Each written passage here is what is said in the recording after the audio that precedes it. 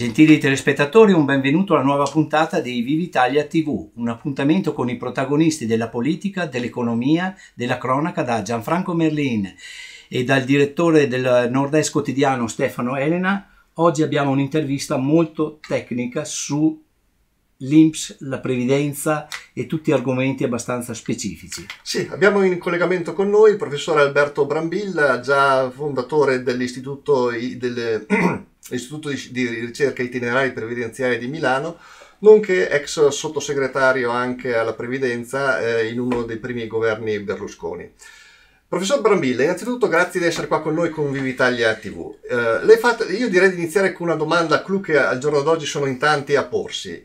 Riusciremo noi eh, cittadini che incominciamo ad andare in pensione con il sistema contributivo puro ad avere una pensione adeguata? L'INPS sarà in grado di pagarci le pensioni anche con i chiari di luna che ci sono in questi ultimi tempi in cui si parla sempre che c'è il deficit previdenziale e quant'altro? E soprattutto poi le casse private, che eh, lì è un altro, un altro regime, un'altra, un'altra voce, riusciranno anche loro a stare, eh, a onorare i propri, i propri contratti con i loro assistiti? Prego. Sì, tanto buonasera a tutti. Allora, eh, per quanto riguarda il sistema pensionistico italiano, è sicuramente un sistema che è solido, regge e all'interno, diciamo, dell'Unione Europea è uno di quelli che si è dotato, tra l'altro è stato il primo, di due stabilizzatori automatici che sono quelli che in un sistema previdenziale lo tengono in equilibrio. Di fatto noi abbiamo l'aggancio della eh, età di pensionamento all'aspettativa di vita e anche la parte relativa alla pensione, quello che noi chiamiamo in gergo tecnico i coefficienti di trasformazione, cioè quel numeretto che trasforma tutti i contributi versati in una vita di lavoro nella pensione. Ecco, tutte e due sono, come dire, indicizzati, adeguati all'aspettativa di vita, per cui il sistema è molto stabile. Ovviamente risentirà nel corso del 2020 e del 2021 del calo di occupazione dovuto al Covid. Speriamo che poi questa situazione si risolva presto. Siamo molto in ritardo sia sotto l'aspetto vaccinale ma soprattutto sotto l'aspetto dei test e quindi questo ha tenuto chiusa molto l'Italia e questo ha prodotto un livello di disoccupazione piuttosto elevato. Però noi immaginiamo che se le cose vanno meglio, con questo nuovo governo il piano vaccini decolla, entro il 2022 dovremmo recuperare quasi totalmente i livelli occupazionali e quindi per rispondere alla prima domanda possiamo dire che a parità diciamo di tassi di occupazione, che peraltro in Italia sono veramente molto bassi, l'INPS è sostenibile e quindi chi va in pensione sicuramente può stare tranquillo. Sulla parte seconda, quelli che hanno il metodo misto, perché di fatto contributivi puri andranno in pensione dopo il 2035-2036. Quindi invece quelli che alla data del primo di gennaio del 1996 non avevano 18 anni di contribuzione, dall'1196 la loro pensione è calcolata con il contributivo e quindi il contributivo eh, di questi tempi è abbastanza un paracadute perché ricordiamoci sempre che il metodo retributivo calcola la pensione sugli ultimi 10-15 anni. Se gli ultimi 10-15 anni sono stati poco buoni e i primi invece erano molto buoni, uno corre il rischio di avere versato tanto e prendere poco, mentre il contributivo di fatto dà una certa pensione. Ovviamente, e concludiamo questo primo concetto, il contributivo premia chi va dopo in pensione, cioè chi va a 67 anni prende una pensione che è anche maggiore di quella che avrebbe preso con il retributivo. Certo, chi va in pensione a 62-63 anni, siccome anticipa la pensione di 5 anni, non prende meno in totale, ma prende una pensione più bassa per, semplicemente perché la prende per 5 anni di più. Certo. Scusi, una curiosità, il, l'aspettativa di vita adesso quant'è che ha? Quanti anni sono? L'aspettativa di vita prima del Covid era intorno agli 86 anni erotti per le donne e 81 e mezzo, quasi 82 per gli uomini. Bisogna tenere conto che eh, quello che è successo, i 103.000 decessi, purtroppo il 95,5% di questi decessi è per persone che hanno più di 65 anni. E quindi è chiaro che per l'aspettativa di vita del 2020 e probabilmente, speriamo molto meno ovviamente, per il 2021, ovviamente si ridurrà, ma non sarà che si abbassa definitivamente, nel senso che eh, chi sta bene e ha superato il Covid ha le stesse aspettative di vita di quelle che aveva prima del Covid. Certamente questi 100.000 soggetti che ci hanno purtroppo lasciato abbassano la mediana e quindi è evidente che il metodo contributivo e quindi questi agganci all'aspettativa di vita sono inattivi per il 2021 e saranno probabilmente inattivi anche fino al 2023. Insomma, è l'unica cosa positiva che ha creato il Covid. Mica tanto, perché eh beh, no, diciamo beh, da questo insomma, punto di vista, avremmo, insomma, avremmo, avremmo fatto di me, a meno. Volentieri a meno da questo vero, punto di vista qua. Però dal punto di vista diciamo, del tasso di copertura del, del, rispetto, delle pensioni rispetto al reddito mm, mentre si lavora, mentre si lavora il sistema diciamo, contributivo ha un tasso di copertura minore di quello retributivo, tant'è che adesso c'è stata la corsa ai sistemi di previdenza integrativa che non è che in Italia abbiano ancora preso quel gran piede, se non sbaglio. Allora, come le dicevo, voi dovete tirare una linea immaginaria, perché è molto immaginaria, intorno ai 65 anni. Prima il metodo contributivo dà prestazioni più basse perché non perché sia eh, cattivo o penalizzante, semplicemente perché eh, eh, considera il numero di anni di aspettativa di vita. Dopo i 65, quindi 66, 67, il metodo di calcolo contributivo consente a quelli che andranno in pensione l'anno 21 di avere ovviamente chi ha fatto 38 anni di anzianità contributiva e ha almeno più di 65 anni, di avere un tasso di sostituzione, cioè il rapporto tra l'ultima retribuzione netta e la prima rata di pensione netta, è importante, è netto su netto, quindi lo spendibile, quello che interessa a chi prende la pensione, intorno al 72%, 73% per i lavoratori dipendenti e il 63-64% per gli autonomi. Quindi tutto sommato è uno dei tassi di sostituzione più elevati a livello europeo, il che significa praticamente più elevati al mondo perché il sistema europeo è quello che paga di più rispetto al mondo anglosassone, quindi eh, Inghilterra, Scozia, Stati Uniti, eh, Canada, eh, Nuova Zelanda, Australia. Ecco, questo. Quindi diciamo che il grosso, anche il Giappone, per esempio, ha tassi di sostituzione eh, più bassi e età di pensionamento molto, molto più alte. Quindi direi che è questo. Il problema vero in Italia sono i redditi. Se io in Giappone ho il 50% di tasso di sostituzione ma prendo 3.000 euro di media, vado in pensione con 1.500.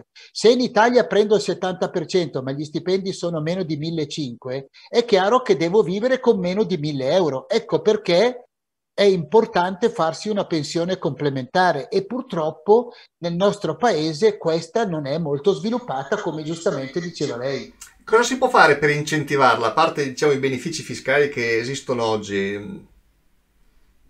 Allora, i benefici fiscali sono tra i più elevati che abbiamo in Europa. In più, a partire dal 2015, 2016, 2017 abbiamo anche il cosiddetto welfare aziendale, che peraltro mi risulta che nel Triveneto è molto, eh, è, è, molto, è molto diffuso, soprattutto nelle medie e nelle grandi aziende. Questo consente, per esempio, se la regola generale è che posso investire 5.164 euro in previdenza complementare, se la mia azienda ha anche welfare aziendale, magari ci posso investire altri 2.000 euro in più. Perché è poco sviluppato? Uno, perché c'è ancora l'idea vecchia con il retributivo che eh, la pensione è eh, eh, l'80-85% dell'ultimo reddito e, e, e va bene così. E non è invece così e la seconda è perché manca molta eh, informazione. Voi avete Veneto Welfare che fa una bella attività di formazione e di informazione. Ora, se la gente sa che versando 5.164 euro e avendo un reddito insomma superiore, lordo, eh, superiore ai 45.000 euro, il 40% di questi soldi glieli paga lo Stato, quindi se verso 5.000 euro, 2.000 me li mette lo Stato perché li tolgo dalle tasse e 3.000 li metto io, beh, è evidente che la gente fa questo tipo di attività. Se poi sa che quando prenderà la pensione su questa parte di pensione integrativa sarà tassato soltanto tra il 9 e il 15% e quindi ha un differenziale molto molto positivo, basta fare quattro conti, è evidente che tutti farebbero. Il problema è che c'è molta poca informazione, soprattutto tra i giovani. Certo. E c'è anche il problema che per chi, fa, mm, chi versa nelle casse privatizzate del, dell'ADEP, quindi professionisti o le categorie ehm, tipo i farmacisti, gli infermieri stessi, i medici, giornalisti, architetti e quant'altro, vengono tassati due volte perché vengono tassati sia sul montante che viene diciamo, a fruttare ogni anno sia anche sulla prestazioni previdenziali, il che va a incidere negativamente anche sull'ammontare definitivo delle pensioni, il che è abbastanza anche così poco, poco, poco lecito da da un certo punto di vista, è anche un unicum a livello internazionale se non sbaglio. Sì, allora, eh, siccome quando mi ha fatto la prima domanda mi diceva ma queste casse sono sostenibili, ecco, ad eccezione dell'IMPGI, cioè della cassa dei giornalisti non la, nostra, la nostra cassa defraudata. Però, ecco. IMPG, però IMPG 1, non IMPG 2, eh, sia chiaro. L'IMPG 2 funziona a meraviglia perché è come la gestione separata presso l'INPS e quindi essendo a contributivo ha tutte le caratteristiche della sostenibilità. Professore, Infatti, non dia brutte notizie al nostro Stefano Elena. Tu in che cassa sei? Quella IMPG 2. Il 2, ma allora sei fortunato. Sembrerebbe, in teoria sembrerebbe. La, la resa allora, sem- Sull'IMPG2 non si corre alcun rischio. Sull'IMPG1, che è quella per i dipendenti dei giornali, delle televisioni, eccetera, beh, lì eh, la riforma è partita tardi e oggi io credo che eh, ci sia poco da fare, nel senso che ormai da qualche anno il bilancio è insostenibile. Tolta l'IMPG, tutte le altre casse stanno bene, hanno dei grossi patrimoni e è vero, eh, cosa succede? Che a differenza dell'INPS che non ha un patrimonio e non ha soldi in cassa, la cassa dei farmacisti, degli infermieri professionali, dei consulenti del lavoro, dei commercialisti, degli avvocati hanno dei grossi patrimoni. Questi patrimoni rendono. Mi scusi, sono anche patrimoni immobiliari se non sbaglio. Certo. La stragrande maggioranza. Devo dire che eh, quando partirono erano prevalentemente investimenti in immobili e eh, in valori postali. Oggi diciamo che la componente immobiliare è non prioritaria, è la parte diciamo, diciamo più piccola del patrimonio e eh, soprattutto è stata molto rivisitata perché prima era eminentemente eh, patrimonio immobiliare ad uso abitativo, oggi invece è patrimonio immobiliare ad uso terziario, terziario avanzato, quindi anche la redditività è maggiore. Il punto è che eh, non si riesce a far capire ai vari governi, perché qui ce ne abbiamo quasi uno ogni anno, due o tre mesi, noi abbiamo il nuovo governo da festeggiare, quindi siamo un po' un paese un po' anomalo rispetto, cioè se io mi guardo la Merkel che è 18 anni che governa, noi in questi 18 anni ci abbiamo messo almeno 15 governi. Quindi, insomma, stavo, per, stavo per dirle 18, 18, anni e 18 governi da questo punto di vista. Eh, sì, un po', un po meno. E, e, questo però denota il fatto che noi siamo messi male come produttività, come tassi di occupazione, perché è evidente che una instabilità politica così alta non consente. Io quando ho fatto il vice ministro del lavoro, è, è perché il ministero lo conoscevo molto bene, perché c'ero già stato come presidente di un nucleo di valutazione della spesa e soprattutto avendo fatto la riforma Dini come consigliere del ministro Treu. Ma anche uno che lo conosce ci vogliono 5-6 mesi per cambiare le carte, i timbri e tutte le varie cose. Per cui, cioè, vuol dire che un paese, se cambia governo ogni 14-15 mesi, per sei mesi è paralizzato poi lavora un pochettino e poi comincia a entrare in crisi, gli ultimi tre mesi non si rifila nessuno e quindi e questo è il problema. Detto questo, eh sì, però speriamo che finisca perché se no addio giovani generazioni, qui così continuiamo a accumulare debito. Detto questo, dicevo, eh, tutti i governi tassano i proventi del patrimonio, quindi la doppia tassazione è io ti tasso i proventi del tuo patrimonio immobiliare, che poi concorreranno in piccola parte alla tua pensione. E poi ti tasso la pensione. Io, avendo scritto la legge sulla previdenza complementare, ho fatto l'opposto, quindi da noi i, eh, i rendimenti sono tassati, erano all'11, il governo Renzi e poi Gentiloni hanno portato al 20, però i rendimenti che sono tassati poi quando si trasformano in pensione diventano netti, quindi non c'è una doppia tassazione. Mentre, eh, e poi, come dicevo prima, non c'è una tassazione ad aliquota marginale, ma sulla previdenza complementare c'è l'imposta sostitutiva. Lei prende 100 euro, ha versato per 30 anni, su questi 100 euro paga il 9% di imposta a titolo definitivo, che non va in capo a altri redditi e quindi non aumenta l'imposta. Purtroppo nella pensione obbligatoria delle casse, come diceva lei, vengono tassati i rendimenti, i rendimenti compongono una parte della pensione, poi la pensione viene tassata ma ad aliquota marginale, quindi insomma si potrebbe fare di meglio. Certo. Adesso una pausa per la regia per un break.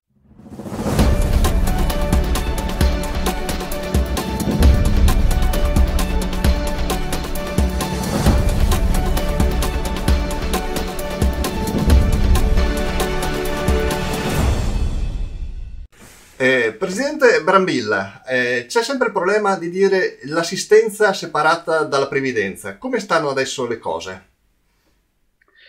Allora, in realtà eh, spesso si dice che eh, l'Italia spende tantissimo in pensioni e questo è un problema.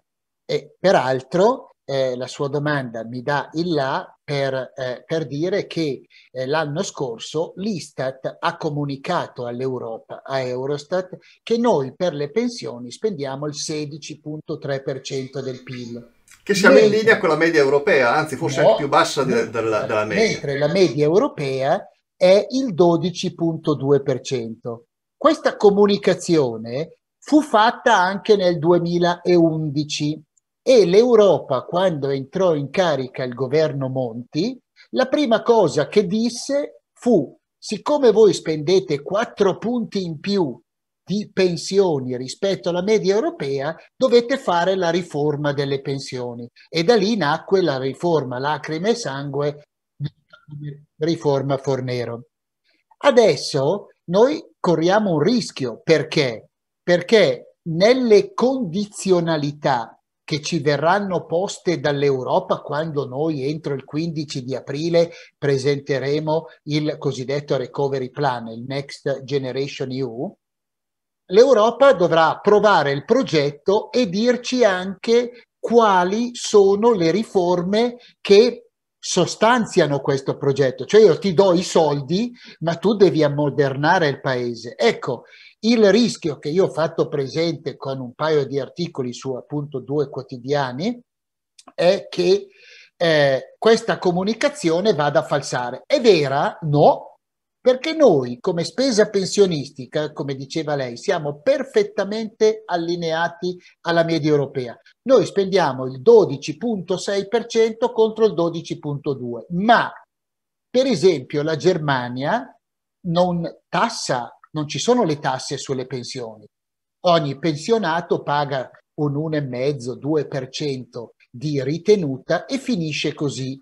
Noi sui 230 miliardi di spesa pensionistica paghiamo 54 miliardi di IRPEF. Quindi la spesa vera quella che tira fuori di tasca sua lo Stato, e non è quella, sono 157 miliardi di spesa vera contro 190 di contributi. Quindi quando lei mi chiedeva, ma il sistema regge? Certo che regge, perché il sistema italiano in questo momento al netto delle tasse, lo Stato paga molto meno di quello che incassa come contributi tutti gli anni, solo che cosa fanno? Ci mettono la spesa pensionistica più le tasse, più ci cacciano dentro all'incirca 100 miliardi di assistenza. Cioè le, eh, tu, tutte le, le, varie, le pensioni sociali, gli assegni sociali, le pensioni di invalidità, le indennità di accompagnamento, la social card, la quattordicesima mensilità. Ecco. Si, si è dimenticato il reddito di cittadinanza però da questo. Cosa? Eh, c'è dentro anche il reddito di cittadinanza in questo calderone dentro dell'assistenzialismo, se non sbaglio. Non è eh, dentro in questa eh, quota perché il reddito di cittadinanza è stato imputato alla, uh, diciamo all'assistenza, quindi non rientra in quel novero di cose che le dico. Certo, poi eh, alla fine della spesa anche il reddito di cittadinanza che assieme alle pensioni di cittadinanza, perché ci sono pure quelle che vanno nel sistema pensionistico, in due anni ci abbiamo speso quasi 13, 13 miliardi, quindi non è che abbiamo fatto poca diffusione. Il problema vero quindi non sono le pensioni e quindi io mi aspetto che le parti sociali che conoscono il problema si facciano proattivi perché è evidente che dobbiamo separare l'assistenza alla previdenza, non perché spendiamo meno, eh, perché poi la somma è sempre quella, ma dividere l'assistenza alla previdenza significa mettere al sicuro il sistema previdenziale, evitare che ci siano sconsiderate riforme che non servono, mentre tutti gli sforzi del governo debbono essere concentrati sull'assistenza. E qui vi do un dato. La spesa assistenziale, quindi a carico della fiscalità generale, perché non è che sull'assistenza pagano i contributi. La spesa, noi nel 2008 spendevamo 73 miliardi. Nel 2019 questa spesa per tutte le campagne elettorali che ci sono state, quindi ogni campagna elettorale uno promette la quattordicesima mensilità, l'aumento della pensione sociale, l'assegno sociale, cioè è, quota è 100, fatta, eh? quota 200, quota 300, quota 100, tutto quanto, cioè tutti i partiti e qui non è che ci sia uno che si salva più dell'altro. A me spiace che eh, chi dovrebbe essere davvero liberale quando fa campagna elettorale sborda da tutte le parti e quindi siamo arrivati a 114 miliardi, 41 miliardi strutturali in più. Il 50%, sono, il 50% della spesa precedente in più praticamente. Esatto, che sono prevalentemente a debito e quindi a carico delle giovani generazioni. Cioè, questi politici qui alla mattina ci fanno il sermone che dobbiamo eh, salvaguardare i giovani, il futuro, eh, salvaguardare il paese, l'autonomia economica. Poi, poi sono i primi che li fottono. Eh. Il pomeriggio fanno i debiti e un paese indebitato come il nostro ma è normale, no? Una famiglia che ha debiti ha meno libertà economiche, è evidente perché è sotto pressione. Un paese che ha così tanto debito come il nostro perderà le libertà economiche. Quindi noi stiamo a furia di ristorare le persone, stiamo incrementando il debito, che vuol dire portare via alle giovani generazioni la loro futura libertà economica. Però uno dice, vabbè, se come dicono i 5 Stelle abbiamo abolito la povertà, gli facciamo, siamo anche contenti. Ecco, i risultati purtroppo sono drammatici. L'Istat ci dice che nel lontano 1900, nel lontano 2008, ve lo leggo perché è così. Non proprio lontanissimo, solamente 12 anni fa da questo punto certo, di vista. Certo, nel 2008 quelli che erano in povertà assoluta erano 2 milioni 113 mila italiani. Nel 2019, dopo che ci abbiamo messo 41 miliardi in più, uno dice, beh, saranno un milione, no? Avremo ridotto. Sono aumentati invece. No, sono 5 milioni e mezzo. Raddoppiati, più di raddoppiati.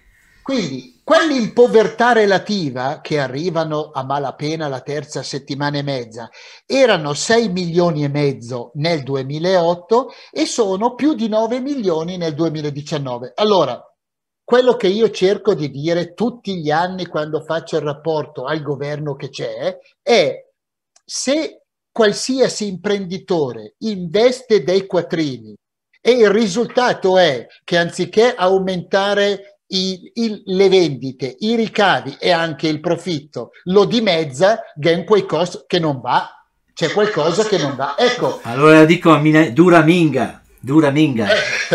Quindi quello che deve essere chiaro è attenzione, perché se noi continuiamo a fare assistenza, perdiamo anche come tasso di occupazione, perché moltissimi dicono ma perché devo andare a bottega tutti i giorni per prendere 800-900 euro tassati quando, quando posso 600, prendere... 700 a stare in poltrona? Sì. Ecco. sì, attenzione, però dopo questi qua fanno anche lavoro nero perché nelle cronache è, è pieno le cronache di queste eh cose. Certo, poi vi fanno anche concorrenza sleale, quindi questa gente qui fa concorrenza all'imbianchino che fa la fattura perché questo qui non può essere, non può farla, perché se la fa perde il reddito di cittadinanza, perde gli ammortizzatori sociali, perde la cassa integrazione, perde gli aiuti e la stessa cosa vale per alcuni pensionati assistiti, perché un pensionato che ha la sua pensione normale, se fa un altro lavoro, la mette, mette in capo i redditi e non ha nessuna perdita. Una volta c'era il divieto di cumulo tra la pensione e il reddito da lavoro. Io nel 2010 l'ho abolito, quindi oggi uno che lavora, non, certo, paga le tasse su quello che ha fatto, però voglio dire, non ha perdite sulla pensione. Ma, Quindi, fa, ma anche, fa anche concorrenza sleale perché lui parte da una base garantita che è della pensione e invece il lavoratore autonomo non lo può fare perché deve eh, correre per guadagnarsi per arrivare alla base che l'altro c'ha la pensione. E quindi sì, c'è, una forma, c'è, una forma, di concorrenza sleale da questo punto di vista. Sì, anche se le devo dire che in Italia quei, i pensionati che lavorano sono a secondo degli anni tra i 600 e gli 800 mila con le imposte che pagano, automaticamente si autopagano la loro pensione. Quindi noi diciamo spesso, magari avessimo non un milione, ma 4 milioni di pensionati che lavorano, perché vorrebbe dire che possiamo abbassare le tasse a tutti, perché questi qui, se si autopagano, automaticamente, poi devo dire che sì, possono fare qualche prezzo in meno, ma le materie prime sono quelle che paga sia chi è pensionato sia quell'altro. Al massimo può chiedere qualche cosa in meno, ma io non penso che un pensionato vada a lavorare per molto, ma molto, ma molto meno di un lavoratore autonomo, anche perché poi su quel lavoro lì e ci paga i contributi e ci paga le tasse, eh? quindi diciamo che sono messi sullo stesso piano. Professor Brambilla, come se ne esce per poter aggiustare un po' il sistema? Perché adesso alla fine di quest'anno avremo anche il ritorno dello scalone, quindi quota 100 va in esaurimento e ci sarà un 5 anni di aumento automatico dell'età pensionistica, quindi si passa da 62 di nuovo a 67 anni. Lei come la vede la questione? Allora, già vi posso dire che non sarà così, nel senso che ormai si sta esaminando eh, una diciamo una proposta che mi sembra ormai un po' più che una proposta e che prevede a partire dall'1-1 del 2022 che ci sarà una flessibilità in uscita con 64 anni di età e 38 di contributi, di fatto sempre adeguati all'aspettativa di vita, quindi una quota 102, quindi si potrà andare in pensione e quindi lo scalone sarà un po' meno di due anni. E quindi noi avremo la flessibilità in uscita e come eh, e per i giovani avremo una equiparazione delle regole e anche quindi della integrazione al minimo nel caso in cui alcuni giovani non arrivassero alla pensione minima che oggi i giovani non hanno perché i contributivi non hanno eh, questa integrazione al minimo e questi benefici perché non sono stati previsti né nella riforma Dini né nella riforma Fornero verrà introdotto la, la, diciamo, l'integrazione al minimo anche per i giovani, in modo tale che tutti hanno le medesime regole e sono equiparati. Peraltro i giovani, la riforma Fornero ha previsto che possono andare in pensione a 64 anni, ma debbono avere una pensione pari a 2,8 volte l'assegno sociale, cioè 1300 euro. E quindi è chiaro che tutta la fascia grossa dei lavoratori che prende stipendi fino a 1.500, 1.800, 2.000 euro non ci potrà andare. Quindi è una riforma solidaristica al contrario, cioè quelli che fanno i lavori che prendono tanto possono andare in pensione prima. Quelli che prendono poco e che normalmente fanno anche lavori più duri devono andare in pensione dopo. Ecco, si sta ragionando su questa equiparazione e questa flessibilità, per cui non ci sarà lo scalone dei cinque anni e mezzo e quindi io penso che quota 100 verrà piano piano eh, dimenticata, anche se devo dire che non c'è stato l'assalto. Eh. Quota 100 era eh, è, stata, è stata, molto, è stata molto, inferiore rispetto alle tese e anche alle Siamo a meno di 300.000 rispetto al milione previsto. Anche perché, anche perché, le penalizzazioni previste per tutta la vita pensionistica eh, erano abbastanza mh, mm, sensibili, quindi uno ha detto non mi vale la pena, sto lì a lavorare lo stesso quei altri 3-4 anni e tanti saluti. Professor Brambilla, l'ultima, siamo sul finale ormai perché abbiamo sì. già sforato. Allora io faccio due domandine veloci, veloci, molto pratiche. Allora io ho un figlio di 24 anni, ha già iniziato a lavorare come informatico da un anno con il contratto dei metalmeccanici. Io questo mm. figlio cosa, cosa mi consiglia di dirgli? C'è un ottimo fondo che si chiama Cometa e un'ottima... Eh, ma fa eh, pubblicità allora, no? No, è un fondo, è un ah, fondo intercategoriale, quindi è, eh, no, è di categoria. Eh, lei mi ha detto meccanici, quindi i meccanici, i metalmeccanici hanno il più grosso fondo pensione italiano, che è Cometa, e uno dei più grossi fondi di assistenza sanitaria integrativa che è Metasalute. Quindi il mio consiglio è lo faccia iscrivere perché eh, versa il TFR, ha un trattamento fiscale molto migliore e soprattutto c'è un 2% che il datore di lavoro oggi non gli dà e che se invece si iscrive al fondo pensione il datore di lavoro gli dà e quindi è come farsi un aumento tra il 2 e il 3%. Bene, professore, faccio, faccio, tesoro.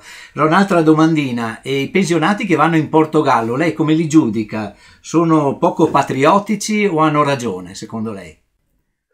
No, io non, non, non, mi permetto di giudicare chi fa queste scelte. Diciamo che eh, sono eh, dal punto di vista eh, meramente economico, quindi della differenziale di tassazione, sulla stragrande, sul 70% delle pensioni è una fuga pressoché inutile, perché se mettiamo tutti i costi accessori, alla fine eh, la gente sta ritornando. Infatti abbiamo, siamo arrivati a circa 33.000 espatriati e adesso questo numero sta decrescendo anche perché il Portogallo per i nuovi non applica più il regime dell'esenzione totale Quindi va bene per chi ha 20.000 euro di pensione all'anno, qui ne lascerebbe giù 10.000, quindi se là c'ha 2.000 euro di costi in più per l'affitto, la casa, eccetera, ci sta dentro, ma uno che prende fino a 2.000 euro di pensione non gli conviene.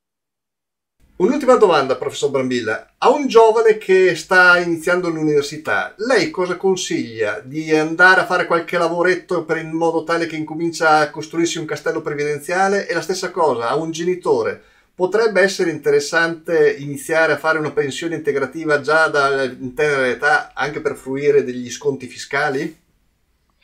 Allora, partiamo da questo. Il fondo pensione è costruito come un vecchio libretto di risparmio, dove il genitore può versare anche quando nasce, per dire, il bambino, e poi può prelevare quando ne ha bisogno, per esempio deve andare all'estero per fare un approfondimento linguistico, può prelevare il 30% di quello che ha versato, lo usa, quando lo riversa recupera tutte le tasse che ha pagato, per cui sicuramente è un libretto di risparmio che prima ancora della pensione diciamo che segue tutta la vita del giovane perché poi può prelevare, vabbè, per motivi di salute per sé e per la famiglia, ma anche per l'acquisto della prima casa, per la ristrutturazione, per comperarsi le attrezzature per una nuova professione e quindi può prelevare e poi rimettere questi soldi quando può e quindi recupera queste imposte.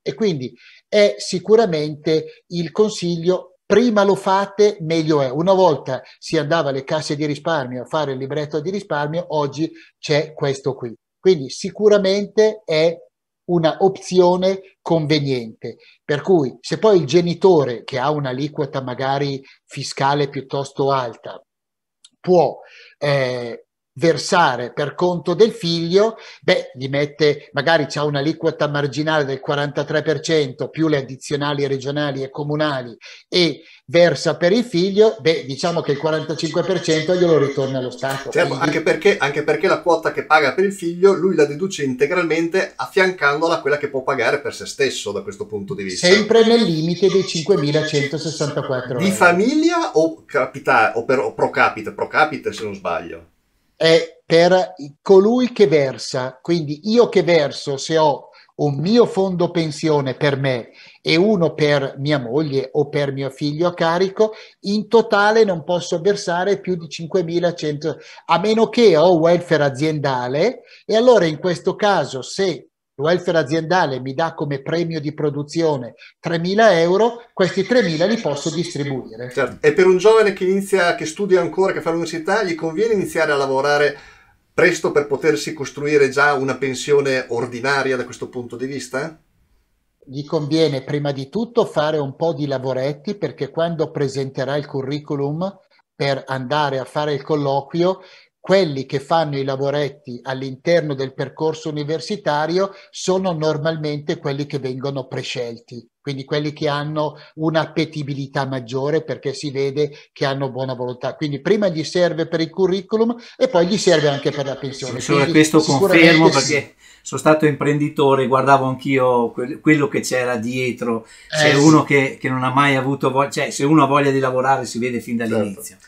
Bene, siamo giunti anche alla fine di questa puntata. Ringraziamo il professor Brambilla per i suoi chiarimenti, per la sua capacità di spiegare una esatto, materia sicuramente chiarezza, abbiamo mirato la sua chiarezza, professore. Naturalmente eh, lei si candida per un'ulteriore puntata prossimamente quando ci saranno qualche ulteriore novità da specificare ai nostri ah, ascoltatori. mi sembra che il professore però ha pubblicato un libro. Un libro certo. Che, qual è il suo libro? Il titolo del libro, professore? Per chi vuole sono le scomode verità sulle pensioni, sul fisco e sul lavoro. E quindi è un po' un libro che va eh, un po' controcorrente e dice un po' le cose che ci siamo detti, quindi parla della povertà, parla delle pensioni, parla del fisco, parla del debito pubblico e quindi dice esattamente come stanno eh, le cose o, o perlomeno le dice sotto un'ottica che non è il pensiero comune e quindi aiuta in un certo senso le persone a eh, avere a ragionare. Poi si può essere d'accordo e non d'accordo come per qualsiasi altra cosa, però è evidente che è un punto di vista tutto supportato però da numeri, tabelle e studi. Quindi, e, poi, e, poi, c'è sempre anche itinerari previdenziali che è una bellissima pagina eh, digitale del, del, web dove ci sono tanti piccoli approfondimenti anche molto pratici da questo punto ecco la nostra regia ha già messo dietro le nostre spalle certo. ha già pubblicato il tutto gli indirizzi e i link ringraziamo di nuovo il professore molto gentile. Alla prossima puntata un saluto da Stefano Elena e Gianfranco Merlin. Arrivederci. Arrivederci